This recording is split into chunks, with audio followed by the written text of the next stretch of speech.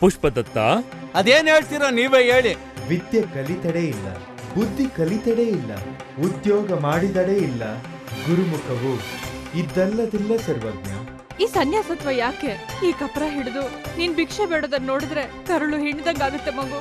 ಲಿಂಗವಿಲ್ಲದ ಅಂಗ ಅಂಗಿ ಇಲ್ಲದ ಪುರುಷ ಗಂಗೆ ಇಲ್ಲದ ಶಿವಪೂಜೆ ಇವು ಮೂರು ಅಂಗ ಕಾಣೆಯ ಸರ್ವಜ್ಞ. ಮತ್ತೊಮ್ಮೆ